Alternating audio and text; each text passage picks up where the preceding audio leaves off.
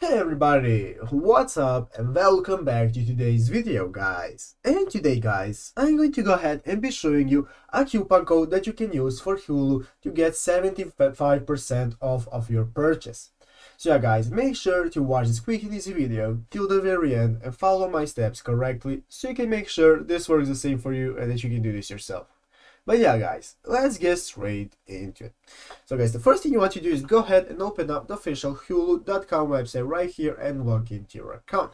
And for logging into your account guys or signing into your account, you can go ahead and get started with purchasing your plan that you want to use on Hulu.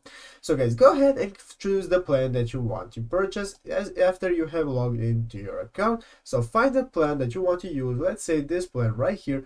And after clicking the plan guys, it will take you to the next page where you will be able to see uh, how you need to enter your payment info and proceed to checkout. So guys, when proceeding to your payment info page, you want to enter your payment info and one of the buttons there will be to enter a coupon code.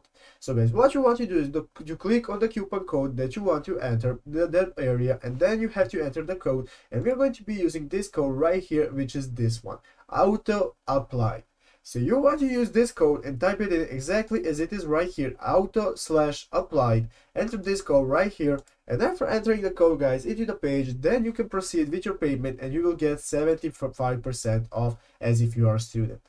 So yeah, guys, basically that is the option and the coupon code we have for today. So I hope this video was helpful. If it was, make sure to leave a like and subscribe to the channel. So guys, thank you for watching. Take care and bye.